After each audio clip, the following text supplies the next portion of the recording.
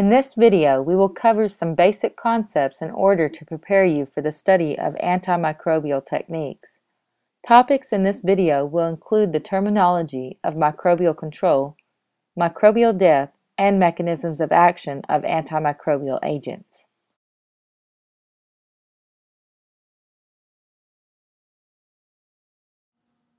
Before exploring the various means of physical and chemical control of microorganisms, we must examine the terminology utilized in reference to microbial control.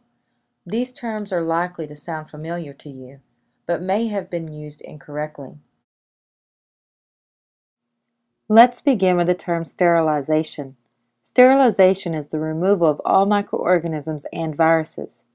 In order to sterilize an object, the technique must be able to eliminate the most resistant of microorganisms. Prions, as we saw in Unit 3, are very resistant to heat, chemicals, and radiation. The destruction of prions requires a combination of chemicals and heat. Generally, when the word sterilization is used, it is assumed all microbial forms have been eliminated. However, many of the sterilizing techniques presented in this section will not eliminate prions. Therefore, in this section we assume that sterilization has been accomplished if endospores have been destroyed, and we make the assumption that prions are not present.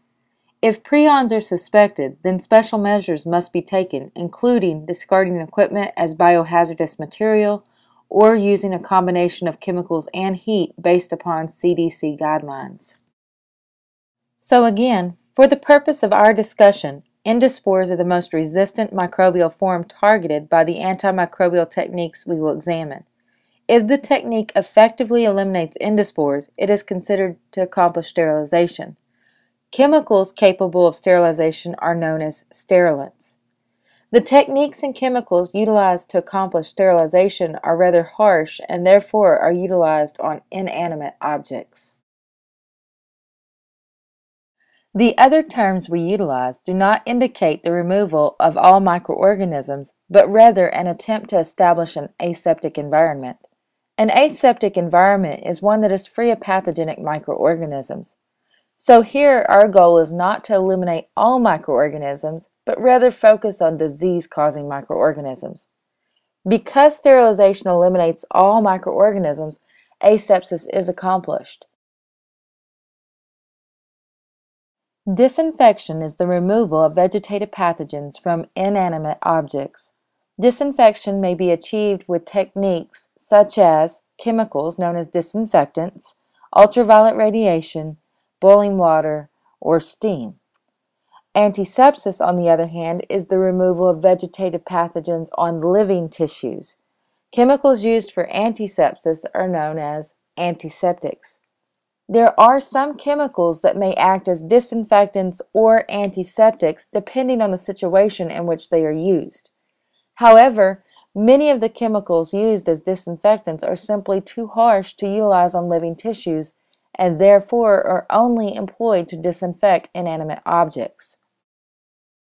Examples of disinfection include the use of iodine to disinfect thermometers, placing food utensils or bottles in boiling water and using a 5% bleach solution on a countertop.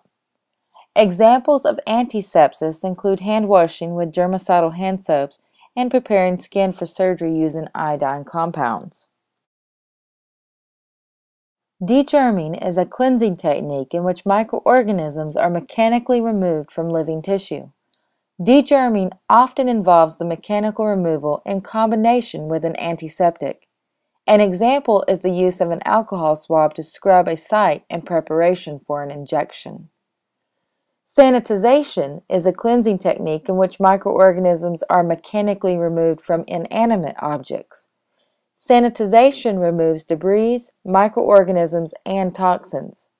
Sanitization can be used in combination with disinfecting chemicals such as soaps, detergents, and bleach. The goal is to reduce microbial numbers to meet public health standards in order to reduce the likelihood of disease transmission. An example of sanitization is the washing of dishes by restaurants. As we move through our discussion of antimicrobials used both in the environment and in the body, we will encounter a number of other terms not covered in this section. that describe the extent to which the technique or chemical can control microorganisms. These terms share in common some suffixes. The suffixes cide or cidal indicate that the chemical or technique is capable of destroying or inactivating a particular microbe. For example, bactericidal agents kill or destroy bacteria, and microbicidal agents kill or destroy microbes. These terms do not indicate whether or not endospores are eliminated. Thus, the terms bactericidal and microbicidal do not indicate whether the technique is capable of sterilization. However, the term sporicidal suggests that the agent or technique is capable of eliminating endospores, and thus is capable of sterilization.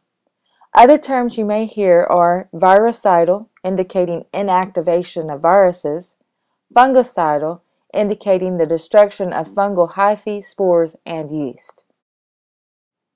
The suffixes stasis and static indicate that growth is inhibited but not necessarily killing the microorganism. The term bacteriostatic then would mean inhibition of bacterial growth. The methods of preserving bacteria in the lab setting for research are all bacteriostatic techniques. Those techniques included refrigeration, deep freezing, and lyophilization. Many of the chemicals used as antiseptics and drugs to control microorganisms in or on the body are microbistatic because microbicidal agents are generally too toxic for human cells.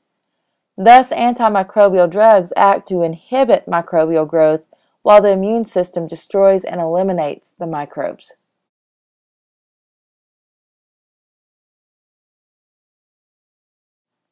Just as we defined microbial growth based on changes in microbial populations, we will do the same with microbial death.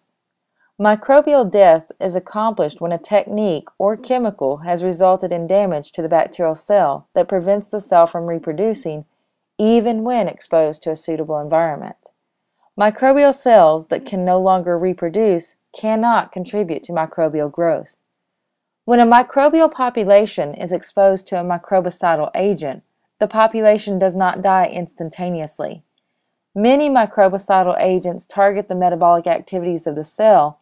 Therefore, young, actively dividing cells die more quickly than older, less metabolically active cells. However, eventually a point is reached in which survival of any of the cells is unlikely. The death of a microbial population in response to a technique or chemical agent can be plotted. Death is observed to be logarithmic as time or concentration of the agent is increased. Such a plot allows one to measure the efficacy of an antimicrobial agent.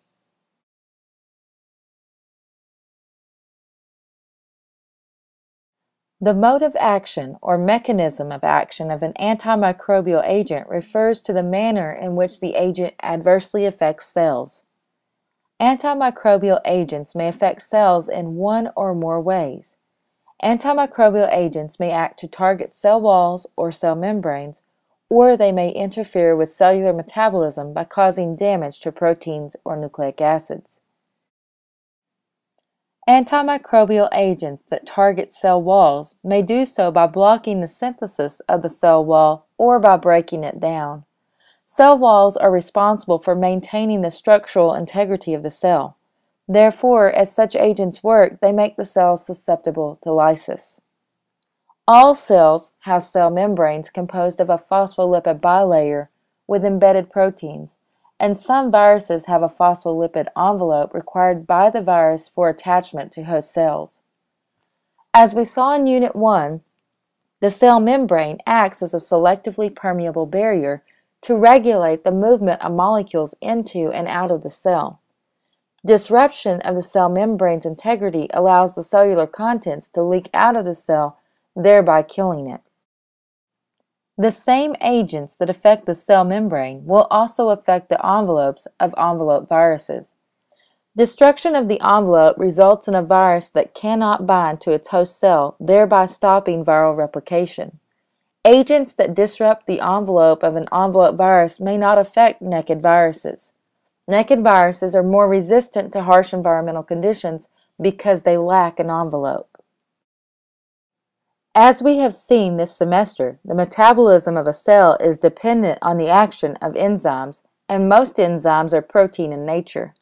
We have also seen that the information for the synthesis of proteins is held within the genetic code, which must first be transcribed and then translated to produce proteins. Therefore, the metabolic activity of a cell may be inhibited by causing damage to proteins and nucleic acids. Damage may be caused by heat, chemicals, and radiation. These agents act against the chemical structure by denaturing proteins and nucleic acids.